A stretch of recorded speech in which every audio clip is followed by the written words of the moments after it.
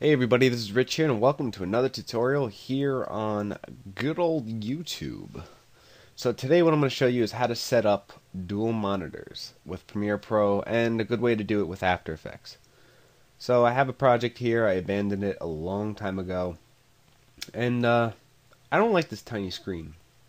And on top of the fact that, you know, I want to be able to take my timeline and uh, be able to expand it and be able to see everything and uh, I got to keep going back and forth. By the way, you hit the uh, tilde key next to one to do that for anything.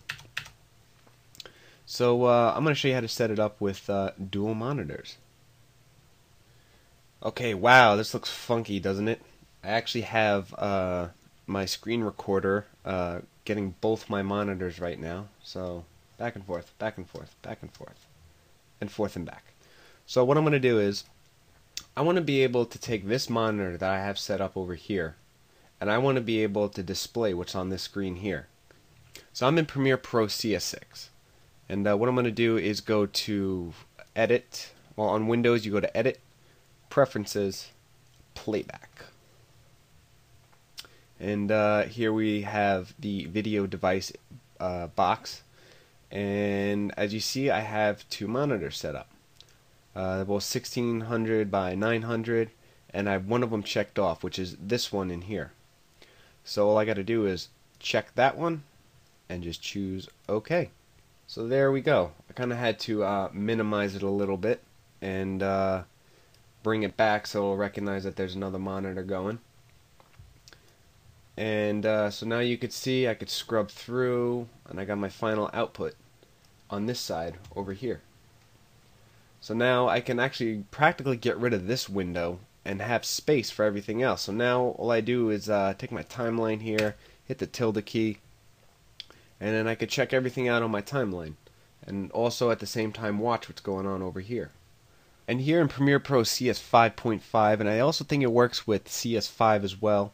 If you want to set up your dual monitor, all you have to do is just click down this arrow over here, which brings down this uh, pull down menu. Just go down here to playback settings. You have to do it on your preview window here. And then you go to external device and you click your second monitor. In this case, monitor right here. So I'm going to click that and choose OK. And there you have it. I now have it set up on my second screen as well. So again, whenever I need to uh, check anything out either in my uh, effects or uh, my timeline here. Just tilde key it good to go. Watch everything happen. And that is that. Okay so here I am in After Effects CS6 and uh, I have a little project that I did a long time ago during the summer. And uh, who knows? This could be a future tutorial. Hint hint. Hint hint. Hint hint. Okay so as you can see, it's kind of cramped in here. You know, I gotta raise this up. I gotta check my layers. And I gotta bring it back down, make sure everything fits. I gotta move everything around. Blah blah blah blah. And uh, effects and presets over here. So I gotta move that over or shove it all the way over to the side. Well, you get the point. So what I'm gonna do is uh, I'm gonna come up here to Workspace. I'm gonna click uh, the pull down menu here. I'm just gonna go to New Workspace. I'm gonna call this one uh, test. So to maximize your viewing option for your viewport here, all you got to do is just click over here in the corner and then just drag it out and voila. You now have a full screen. You can just enlarge it to the size that you need. I'll just shove it in the corner there. Just make it bigger. So now it fills up the entire screen. Let's do that. And do that. So now you have all this space here. And you can uh, have more space for your timeline. Since After Effects works with layers, you can have upwards to hundreds of layers. So this would be beneficial. But what I like to do um, is unfortunately get rid of some of this screen space and uh, take my effects and presets and my character brushes, all that stuff, just drag this out onto the side over here. So that way I have everything I need, possibly even take the RAM preview and maybe drop it in here as well.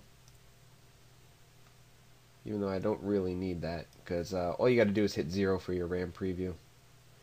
So that way I have my effects and presets and I still have a lot of space to work with.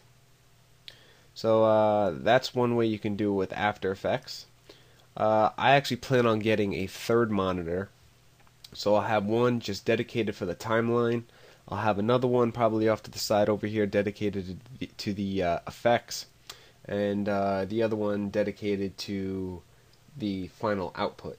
So I hope that works out, and I hope my graphics card can hold it. And uh, so that's it for that. That's how you can set up uh, dual monitors with uh, After Effects and Premiere Pro. So thanks for watching, and I'll see you next time.